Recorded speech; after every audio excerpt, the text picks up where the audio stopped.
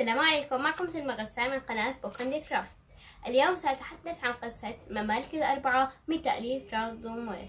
ما معي الكتاب حاليا؟ آه، راح تشوفوا هون صورة الكتاب. أو هون صورة الكتاب. آه، لأنه أنا رجعته على المكتبة وهلا نعمل يعني مراجعة. خلينا نكمل. هو من تأليف رالف ضوميط ومن دار سمير وتقريبا 240 صفحة وفيه صور.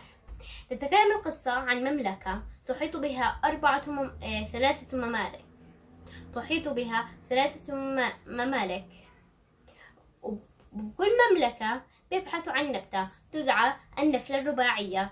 وهي نفلة إلها أربع أوراق. بالعادة بيكونوا ثلاث. ونادر وجود نفلة إلها أربع أوراق. فكل الممالك بتبحث عن هاي ففي فبيجي فتى بصير يبحث عنها. يا ترى هل سيجدها. وإن وجدها؟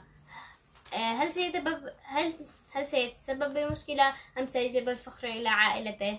آه، زي ما قلت هي من تأليف رال دومي ومدار سمير وتقريبا 240 صفحة. وفي رسومات جوا الرسومات يعني ماشي حالها. في بنهاية القصة شدة لعبة شدة. آه لأن الشدة يعني إلها يعني دور في القصة. آه بس هما بسموها لعبة الكبة الشخصيات الفتى اللي راح يبحث يعني يعني بطل القصة.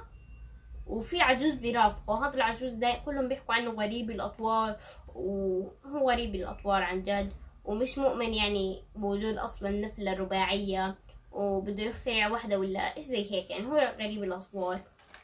وهدول يعني الشخصيتين الرئيسيتين يعني هم الشخصية الرئيسية العجوز بس يعني بيجي بيجي كتير يعني.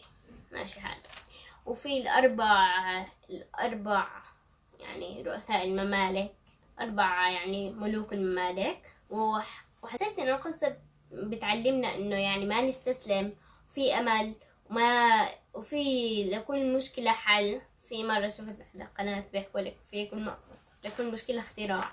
ولا تنسوا تعمل like و share subscribe مع السلامة.